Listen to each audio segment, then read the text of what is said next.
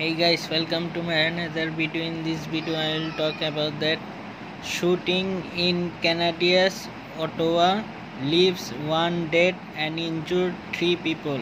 Canadian police said one person was killed and three other were seriously injured after multiple gunshots were reported in the central part of canadian capital city of ottawa hope you guys enjoy the video. Please like comment share and subscribe for more news. Bye